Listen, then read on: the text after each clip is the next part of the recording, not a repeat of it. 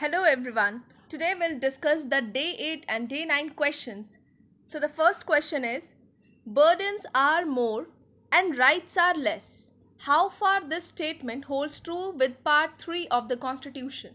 सो so, आपको ये जो स्टेटमेंट है that is burdens are more and rights are less इसको part three that's the fundamental rights उसके अकॉर्डिंग ही आपको इसे एक्सप्लेन करना है कि किस हद तक ये सही है तो पहले आप फिर इंट्रोडक्शन में पार्ट थ्री को देंगे। उससे पहले आपको यहाँ पे समझना होगा कि ये बर्डन और राइट्स क्या हैं। राइट्स यहाँ पे हैं आपके फंडामेंटल राइट्स जो आपको दिए गए हैं।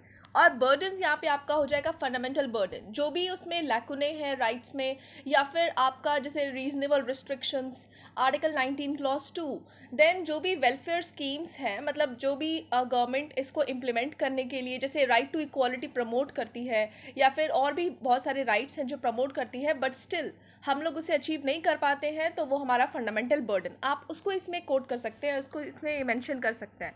सो so, आप इसका इंट्रोडक्शन क्योंकि ये पार्ट थ्री से डील करता है तो आप इसे पार्ट थ्री से स्टार्ट करेंगे.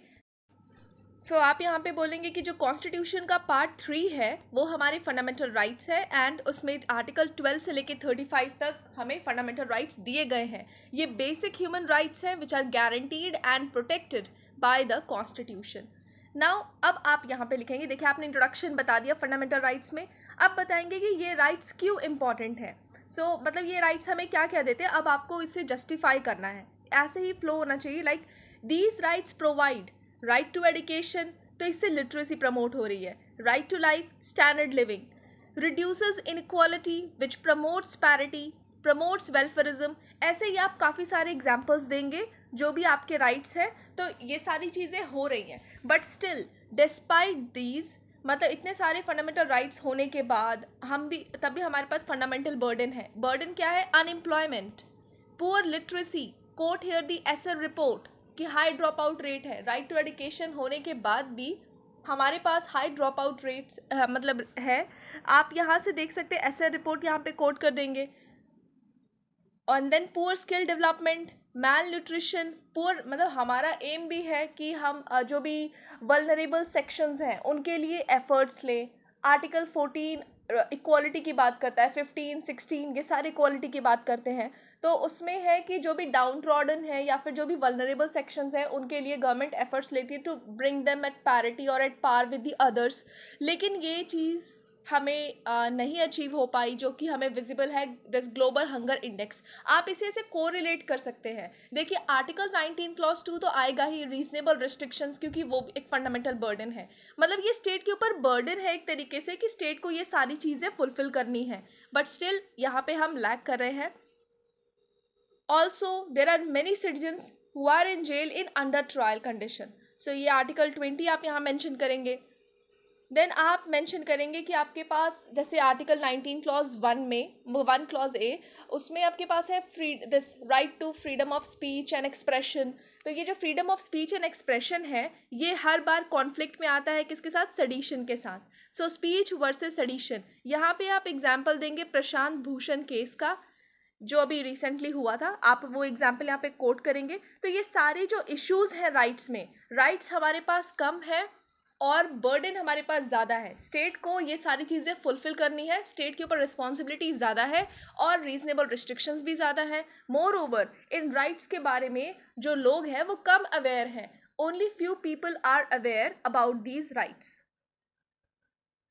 then उसके बाद आप यहाँ पे मतलब ये ऐसे एक लिंकिंग लाइन दिखेंगे linking we can say linking statement ये बहुत इंपॉर्टेंट होता है आपको आपके जो भी आंसर है आप आगे क्या करने जा रहे हैं उसको दो लाइन में मेंशन करिए। इससे आपका जो फ्लो है स्ट्रक्चर है वो मेंटेन रहता है। सो so, आप लिखेंगे लाइक दीज डेटा और दीज प्रोविजंस और explanation show that the states somehow not able to fulfill these rights. तो मतलब और दे आर लैकिंग समवेयर और we can say people are not much aware so अब आप यहाँ पे मतलब ये एक फंडामेंटल बर्डन है। अब यहाँ पे वे फॉरवर्ड देंगे to reduce this more welfare schemes more transparency more digitization Aadhaar linkage as well as more awareness campaign must be made then उसके बाद आप कंक्लूजन देंगे। कंक्लूजन में आप जनरल कंक्लूजन दे सकते हैं लाइक like, अगर ये फंडामेंटल राइट्स या जो भी है अगर हम लोगों के वेलफेयर का काम करेंगे तो इससे uh, हमारी इकोनॉमी डेवलप होगी। और जैसे हम लोग 2024-25 तक 5 ट्रिलियन डॉलर इकोनॉमी बनने का प्लान कर रहे हैं तो वो भी अचीव हो पाएगा। Moreover by promoting these fundamental rights और giving weightage to these fundamental rights we will be we will be able to achieve the sustainable development goals 2030 तो आपको ये एस का जो कॉन्सेप्ट है ना, वो आप हर एक आंसर के कंक्लूजन में डाल सकते हैं। आपके पास जितने भी एस हैं, आप जैसे नो पॉवर्टी या फिर hunger etcetera reduce no hunger ऐसे, ये जो भी है, आप, जैसे कोई क्वेश्चन इससे रिलेटेड आता है तो by this we will be able to achieve the sustainable development target no poverty या फिर एसडीजी नंबर आप वहाँ पे मेंशन कर सकते हैं। तो ये आपका कंक्लूजन हो सकता है, या फिर ये भी लिख सकते हैं like if we if we give attention to this to these fundamental burden then are fundamental rights will be more than this burden then next question is if you have to find the soul of the indian constitution look at the preamble and at fundamental rights. अब इसमें दोनों को soul बोला गया है मतलब question में ही जैसे आर्टिकल फंडामेंटल राइट्स में हमारे पास एक आर्टिकल है आर्टिकल नंबर थर्टी टू उसको हम बोलते हैं soul of the Indian constitution और प्रियम्बल को भी बोला गया है। तो आपको इन दोनों चीज़ों को एक्सप्लेन करना है। प्रियम्बल वाला आपने क्वेश्चन पहले ही कर लिया है, जिसमें बोला गया था कि preamble is the reflection of the constitution वो सेम आंसर ही इसमें आएगा। तो चलिए आप इंट्रोडक्शन कैसे देंगे इसमें? क्योंकि इंडियन कॉन्स्टिट्यूशन के बारे में बात हो रहा है तो आप कॉन्स्टिट्यूशन से जाएँगे। आपको जो भी अच्छा लगता है इंट्रोडक्शन कॉन्स्टिट्यूशन के बारे में आप लिख सकते हैं। Like our constitution is a legal sacred document consisting of set of rules and regulations promoting cooperation among three organs of government that's legislature executive and judiciary. Its philosophy is well reflected in the preamble. ये है linking line यही इसी की बात करती हूँ कि आपको कैसे फ्लो में चलना है। पहले आपने कॉन्स्टिट्यूशन के बारे में बताया। फिर आप बता रहे हैं कि जो भी उसके फिलोसफी हैं जो भी उसकी फिलोसफीज हैं आइडियल्स हैं, जो भी गोल्स हैं, वो सारे हमें प्रियम्बल को देखने में ही रिफ्लेक्ट होता है। मतलब हमारे कंट्री का नेचर कैसा है ऑब्जेक्टिव क्या है। हम अगर प्रियम्बल को देखेंगे तो हमें हमारे कॉन्स्टिट्यूशन के बारे में डिटेल पता चल जाएगा। So its philosophy is well reflected in the preamble and it's known as the soul of the constitution so so, अब आप हेडिंग देंगे प्रियम्बल एज सोल इसमें आपका आंसर सेम आएगा जो आपने रिफ्लेक्शन ऑफ़ द कॉन्स्टिट्यूशन का आंसर लिखा था वही सेम आंसर इसमें आएगा। बस जैसे अगर ये एट मार्क्स का क्वेश्चन है तो आप इसे थोड़ा छोटा कर देंगे। और अगर ये थर्टी एट मार्क्स का है तो आप इसे लेंथ में मतलब उसके अकॉर्डिंग आप एडजस्ट कर सकते हैं।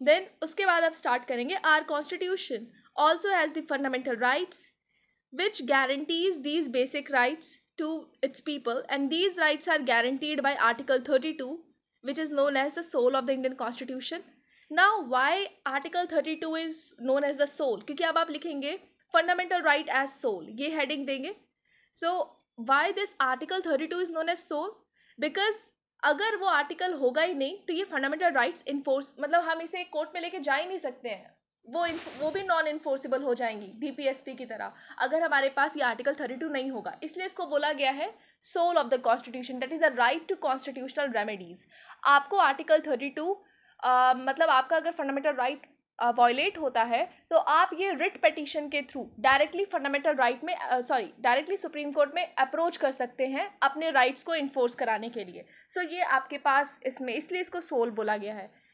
It provides the writs if fundamental rights are violated, we can directly approach the Supreme Court. Then you give a conclusion.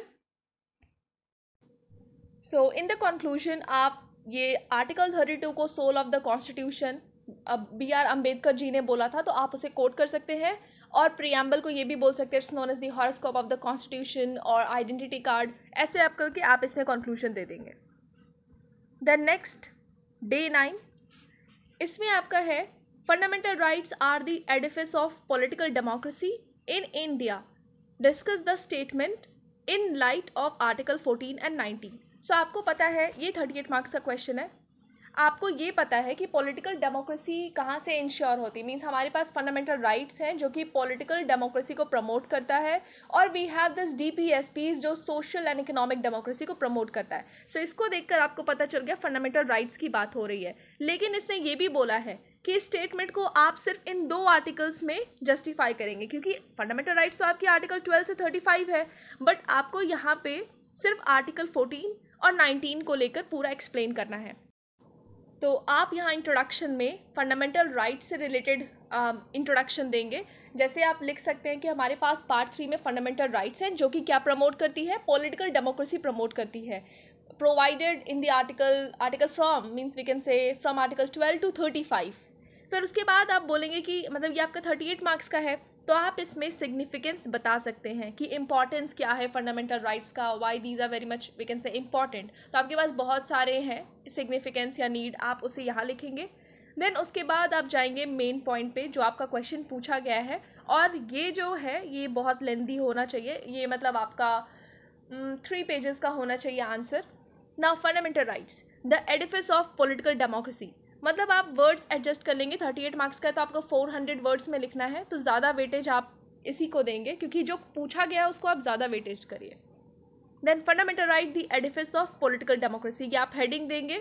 आप यहाँ लिख सकते हैं like it's ensured by all the articles which are mention in part three but और we can say because हमें यहाँ पे fourteen और नाइनटीन को प्रमोट करना है so will see here like and article fourteen and the nineteen play major role in it आपको, क्योंकि आपको इसी पे फोकस करना है तो आपको ये ऐसे लिखना पड़ेगा। Then how article fourteen play major role in it आप यहाँ पे अच्छा सा हेडिंग दे देंगे, कोई भी। उसके बाद आप एक्सप्लेन करेंगे like equality before because this article fourteen provides us equality before law and equal protection of laws then आप इक्वालिटी बिफोर लॉ को एक्सप्लेन करेंगे, जो कि हमने लिया है यूके के कॉन्स्टिट्यूशन से ब्रिटेन से which provides us this rule of law then आप उसे एक्सप्लेन करेंगे और फिर एग्ज़ाम्पल देंगे। इसमें यही है कि every one is equal before law किसी भी तरीके का प्रिविलेज डिस्क्रिमिनेशन नहीं होगा। देन यहाँ पे आप C P C C R P C R P act nineteen fifty nineteen fifty one universal adult franchise and this model code of conduct during elections ये सब सब पे इक्वली अप्लाई होता है तो आप यहाँ पे एग्ज़ाम्पल देंगे। मॉडल कोड ऑफ़ कंडक्ट आपका है इलेक्शन कमीशन के टाइम पे। मॉडल कोड ऑफ़ कंडक्ट को लागू करती है इलेक्शन कमीशन, जो कि सारे पॉलिटिकल पार्टीज़ पे इक्वली अप्लाई होता है। तो आप यहाँ पे ये भी एग्जांपल डाल सकते हैं और वन वोट वन वैल्यू या one person one vote universal adult franchise से है, ये भी इक्वली अप्लाई होता है। तो आप ये एग्ज़ाम्पल दे सकते हैं। उसके बाद है आपके पास equal protection of laws equal protection of laws में आप एग्ज़ाम्पल देंगे कि जैस, ये है कि जो भी सिमिलर कंडीशन में है, उनको एक जैसा ट्रीट करना चाहिए।